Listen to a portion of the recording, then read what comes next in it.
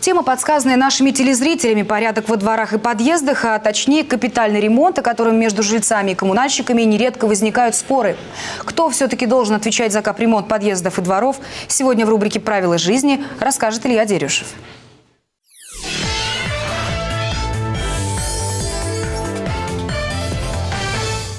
Здесь все течет на прополую.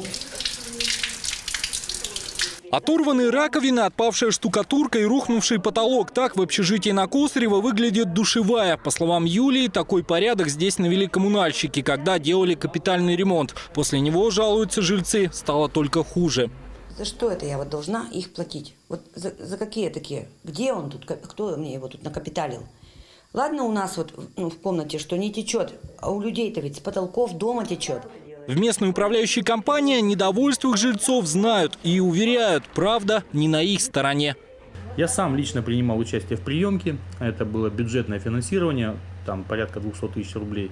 Комиссия все приняла. Через год была проверка контрольно-ревизионного управления, и у меня волосы дыбом стали. До какого состояния собственники довели свои места общего пользования. Там все убито.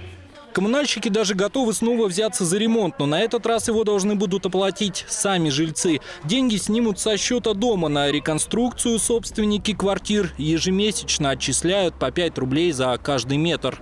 Собственники должны большинством голосов, двумя третями, определить а, сначала для начала, что они хотят ремонтировать. Управляющая компания а, обсчитывает эти работы, смотрим, сколько средств на расчетном счете дома и выносим на голосование. Вносим, если согласие в товарищах есть, а, этот дом входит в капремонт будущего года, и капремонт производится.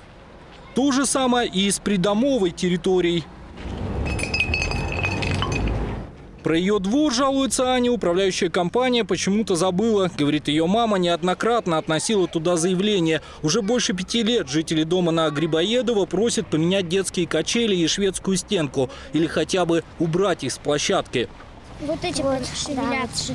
Да. Вот, они могут в любой момент выпасть. И дети упадут. Да. Если здоровью детей грозит опасность, специалисты советуют написать заявление в аппарат уполномоченного по правам ребенка, а копию документа отправить в прокуратуру. В том случае, если работа выполнена некачественно, уже здесь либо управляющая компания, да и сами жители имеют право обратиться в правоохранительные органы о том, что подрядчик получив средства, выполнил работу ненадлежащего качества, не в полном объеме. А вот Светлана дожидаться капитальной реконструкции не стала. Сделала ремонт сама. Шея из старой водопроводной трубы.